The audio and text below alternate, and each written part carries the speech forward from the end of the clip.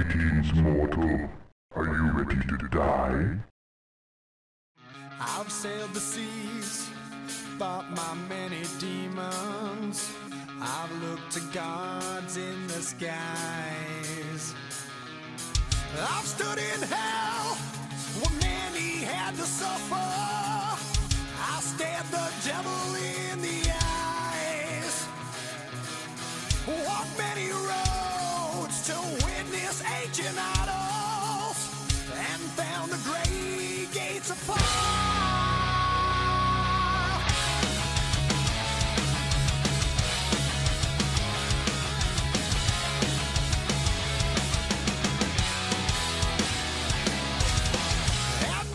Hexen je oproti heretikovi vyspelejšie FPS, ktoré sa poučilo zo svojich chýb. Prináša zložitejší level design a premyslený systém hubov, ktorý ale nie každému môže sedieť. Teraz je len otázkou, je lepší heretik alebo Hexen? While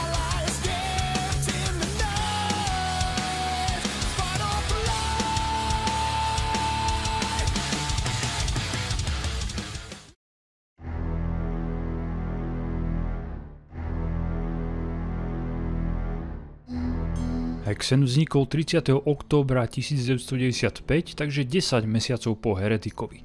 Bol vyrobený firmou Raven Software a ich minulosť som rozobral už v Heretikovi. Hexen vyšiel okrem DOSu aj na Mac, Sega Saturn, PSK, Nintendo 64 a Windows. Zaujímavosťou je, že jeden save Hexena zožral celú memory kartu na PlayStation, čo bolo 15 slotov. Sila čo?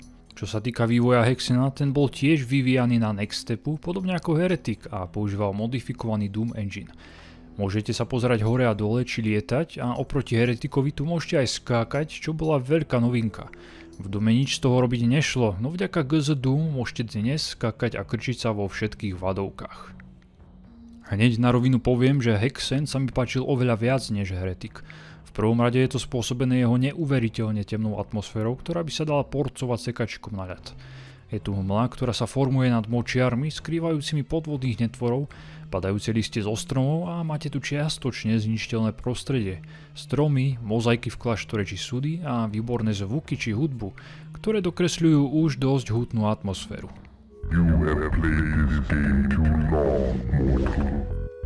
Príbeh pokračuje tam, kde skončil Heretik. Dosparil, jeden z hadích jazdcov, bol porazený, no ďalší dvaja pokračujú v ničení svetov v rôznych dimenziách.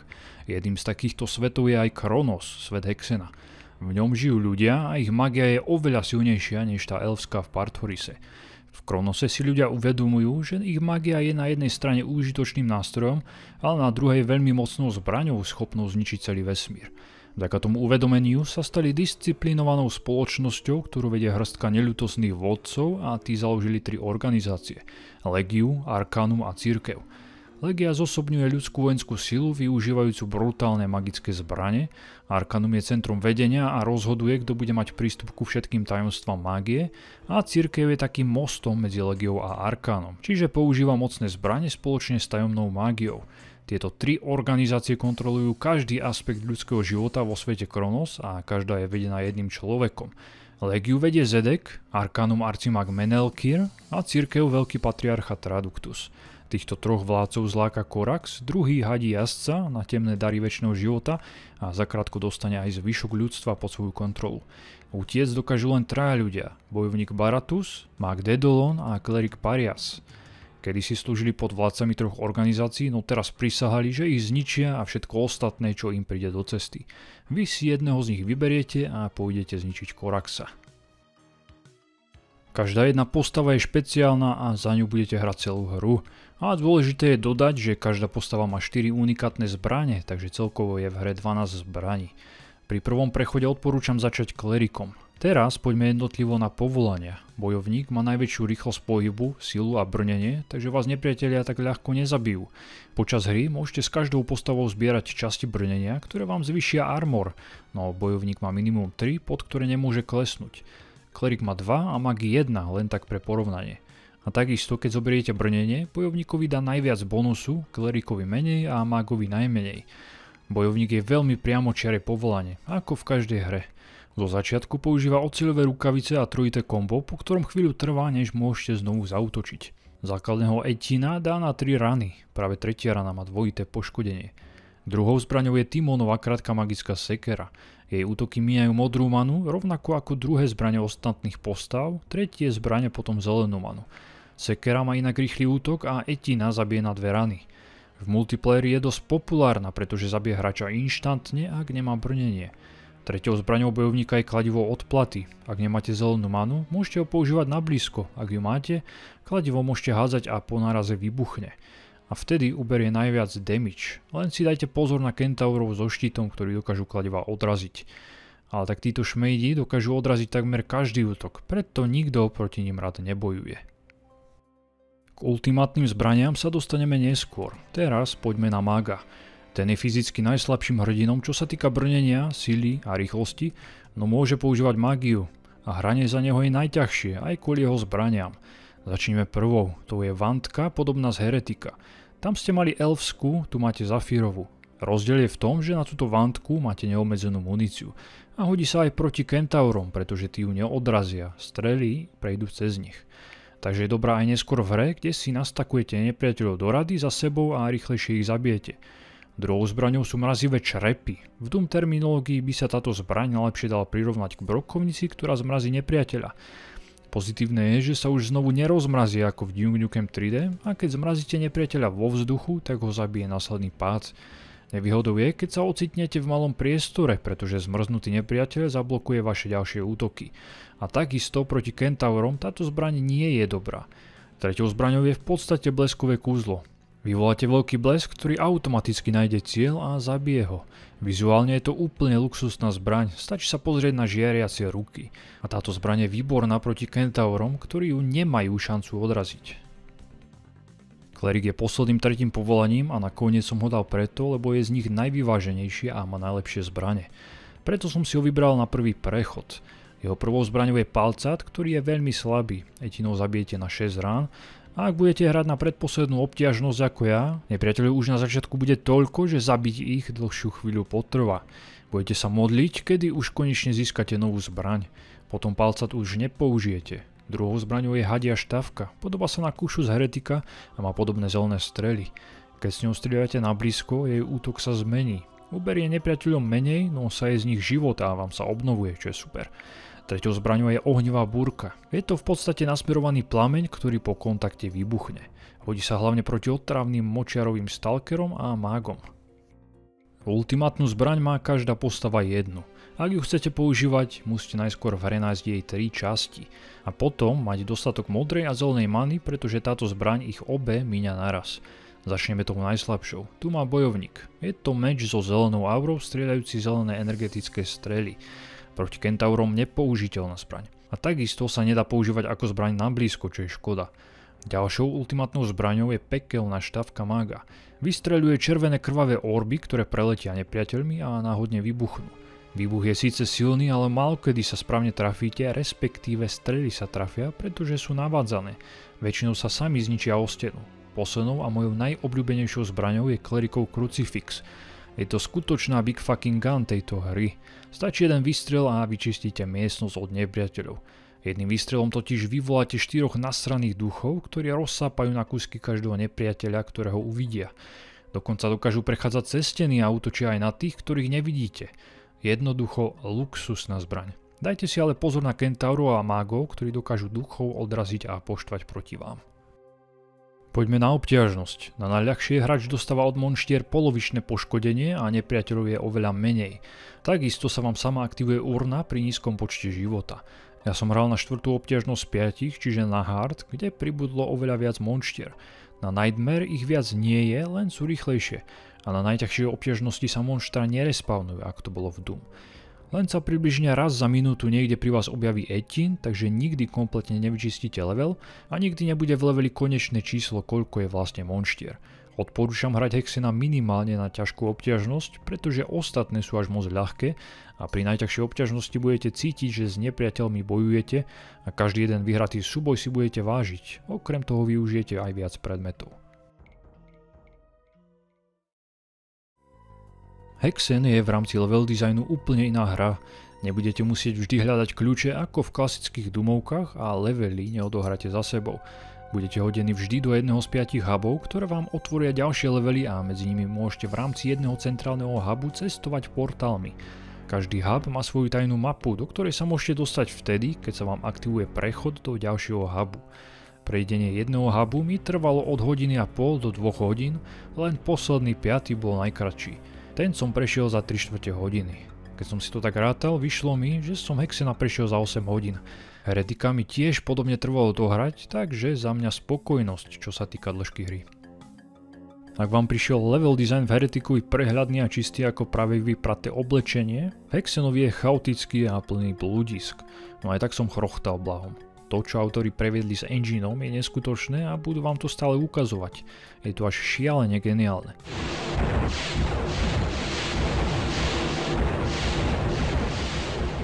Je tu veľmi veľa pohybujúcich sa stien, ktoré sa volajú polyobjekty. Doom Engine používal systém binárneho rozdeľovania priestoru pre rendering, takže nepodporoval pohybujúce sa steny. V Hexenovi, aby mohli pohybujúce sa steny používať, museli to šikovne obísť. Steny sú v skutočnosti úplne inde na mape, len sa renderujú na tom mieste, kde autory potrebujú. A dokážu urobiť aj zemetrasenie a zmeniť časť mapy. A pozrite sa na tú vlniacu sa vodu. A prekvapilo ma, že tu nie sú tajné miestnosti. Tak sú, ale nie sú označené ako secrety. Poďme si trochu predstaviť 5 obrých levelov a nepriateľov, ktorých budete ničiť. Opäť ako pri Heretikovi, ani pri Hexenovi som nehral rozšírenie Dead Kings of the Dark Citadel, ktorý pridáva 3 nové huby, takže si rozoberieme len pôvodnú hru. Rozšírenia si zahrám možno niekedy inokedy, keď budem mať na ne chuť.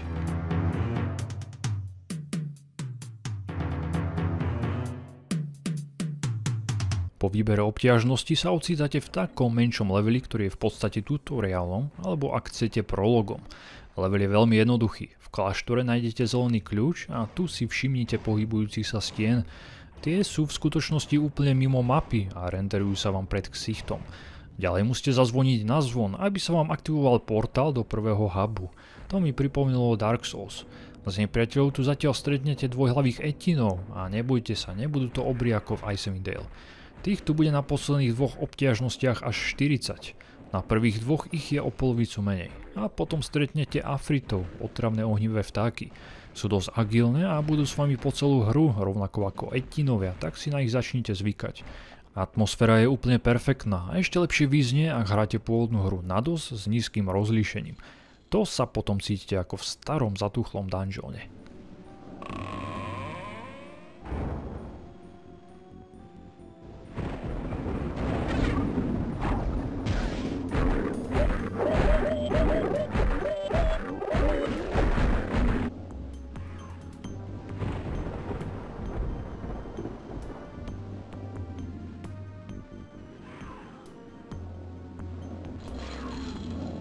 Tomto začiatočnom leveli sa nachádzate v prvom hube a privíta vás Korax. Ten sa vám bude vyhražať vždy v každom novom hube až nakoniec skape a zavrie klapačku. Už prvý hub vám zamotá hlavu, pretože v ňom bude toľko portálov, že sa môžete ľahko stratiť. A vždy, keď stlačíte nejaký spínač, nebudete vedieť čo otvoriť, takže si musíte v hlave zaznačovať miesta, ktoré vypadali podozrivo a i sa k ním pozrieť, či sa náhodou neotvorili. V tomto prvom hube stretnete troch nových nepriateľov. Prvým sú Kentauri, ktorí dokážu odrážať vaše strely alebo blokovať útok na blízko. Používal som proti ním zelené fľaše, ktoré vypustili jed a dokázali ich dostať do stanu. U každého povolania majú ale iný efekt. Bojovník ich používa ako granáty a mag ako časovanú bombu podobnú na presypacie hodiny v Heretikovi.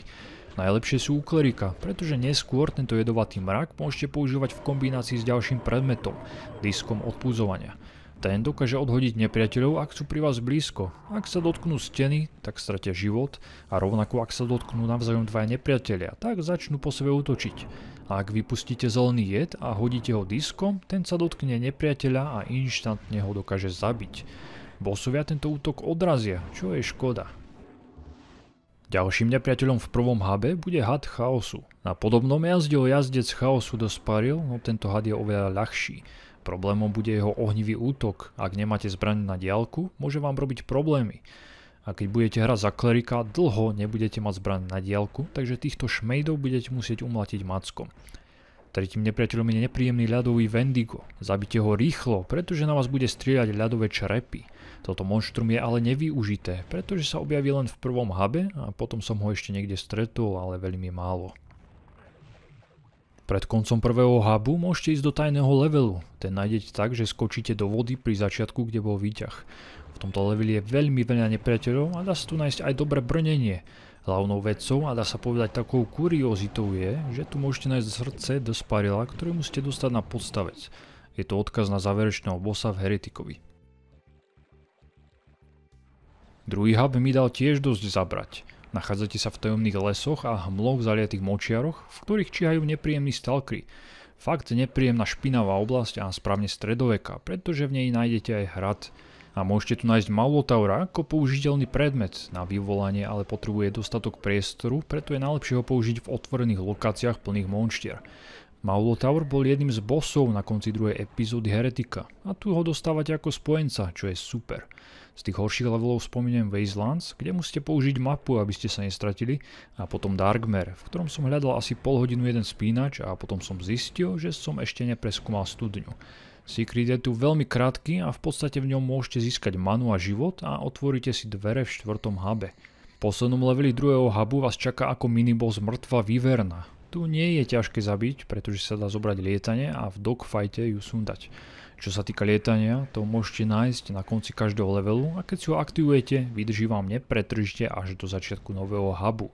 Je ale zbytočné, pretože v tom čase máte preskúmanú už celú mapu a rovnako tu nie sú žiadne tajné miesta, kde by ste sa inak nedostali.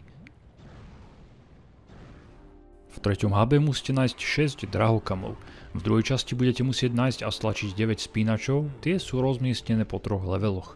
Takže dosť zložitý a ťažký level. Prvýkrát stretnete temných bishopov, lietajúcich magov. Streľajú pomalé strely, ktorým sa dá ľahko vyhnúť a ani vo väčšom počte nie sú ťažkí. Na konci tretieho hubu si zabujete konečne s poriadnym bosákom. Bude to demonický mag Heresiarch, ktorý sa ukázal na konci tretej epizódy Heretika.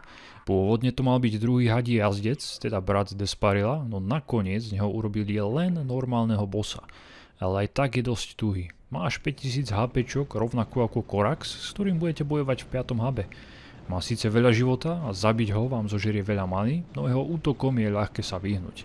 Taktiež dokáže odrážať strely, keď okolo neho poletujú fialové kocky many, preto dokáže odraziť aj ultimátnu zbraň klerika a duchov proti vám poštvať. Stačí si počkať, keď mu odražanie vyprší a poslať na neho duchov. Účinný je na neho aj jed klerika, ktorý prejde aj cez štít. Keď má malo života, vtedy si okolo seba začne vyvolávať menších mágov.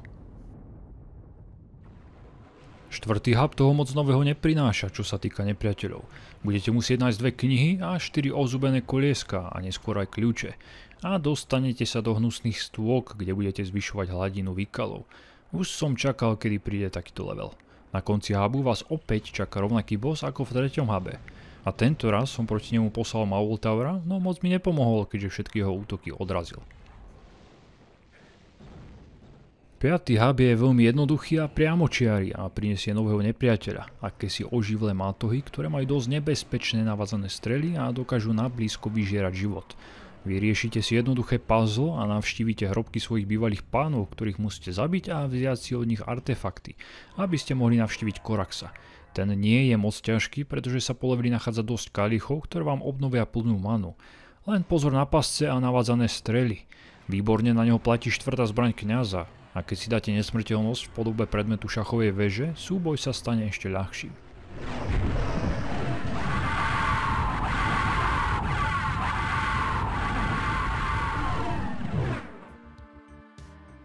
Z predmetov, ktoré som nespomenul, využijete napríklad vtipný porkalátor, s ktorým urobíte z nepriateľov prasata. V Heretikovi ste z nich robili kurčata, stále vás ale môžu zraniť. A nie je nad to urobiť prasce z magov, ktorí sú nad priepasťou. Topánky rýchlosti, vďaka ktorým dvakrát rýchlejšie bežíte, som vôbec nevyužil, rovnako ako pochodeň či urnu na obnovu života, keďže fialových flašiek som mal dosť. Hexen sa stal po vydaní úspešným, aspoň čo sa týka PC verzie. Ostatné až tak dobre prijaté neboli. Do augusta 97 sa spoločne s Heretikom predalo 1 milión kópií. Ja vám môžem Hexena s kľudom odporučiť, len čakajte zložitý level design a neustále hľadanie pug a spínačov. Najnovšie sa teším na nový titul v retro kabáte, ktorý sa volá Graven a mal by vysť budúci rok. Má sa jednať o duchovného nastupcu druhého Hexena. Túto hru vyvíja dánsky Slipgate Ironworks a ako vydavateľa má práve 3D Realms. By the way, budúci rok nás čaká oveľa viac remakeov výborných hier. Príde Sin, Rise of the Triad či Blade Runner, takže sa je na čo tešiť.